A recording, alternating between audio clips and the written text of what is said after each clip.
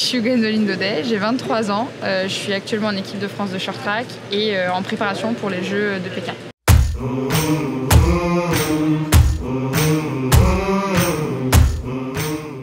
Alors moi j'ai commencé, la discipline à l'âge de 9 ans. à la base je voulais faire du patinage artistique et euh, comme je ne savais pas trop patiner, on m'a conseillé à Fontenay du coup de, tester un peu euh, toutes les disciplines.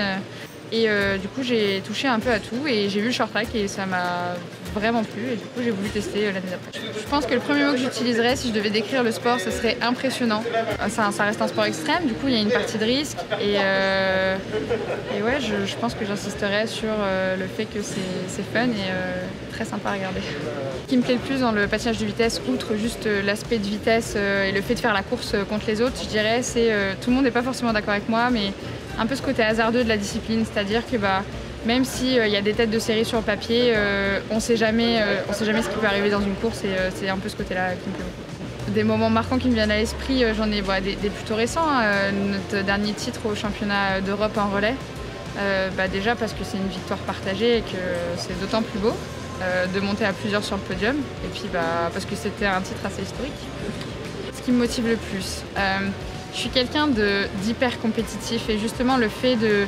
Bah, c'est pas contrairement au long track ou à d'autres disciplines, par exemple les disciplines d'expression. on est vraiment, enfin la course c'est les uns contre les autres, il n'y a pas d'attente de jugement et bah, j'ai j'ai envie de gagner, j'ai tout le temps envie de gagner.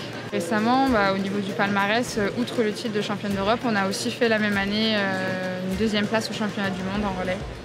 Mes objectifs euh, à court terme, là, forcément, c'est la qualification pour les Jeux de Pékin.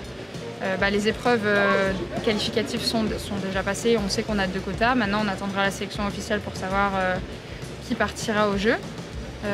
après, pour l'instant, c'est encore compliqué de se projeter sur les jeux, sachant qu'on n'a pas les sélections, forcément. Mais du coup, à court terme, c'est ça. Et à long terme, j'avoue, pour l'instant, je vois pas plus loin. Je, je sais que j'ai J'aime bien euh, m'isoler parce que au niveau des petits rituels, c'est vrai qu'en compétition c'est toujours hyper bruyant, hyper lumineux parce qu'avec les jeux de lumière, tout ça. Euh, j'aime bien euh, mettre des petits bouts de caisse et me recentrer un peu sur moi-même. Je pense que ça permet de se concentrer. Bah, je trouve ça cool que justement les, les jeux soient à la maison, entre guillemets. J'ai hâte d'y être. Après, j'avoue que pour l'instant, euh, moi, le focus est sur Pékin et euh, je parlerai des Jeux de Paris 2024 un peu plus tard. On aura le temps d'en parler. pour mon futur, bah, j'espère, euh, ça va être un peu bateau, mais j'espère, outre les résultats ou quoi que ce soit, juste prendre toujours autant de plaisir à faire ce que je fais actuellement.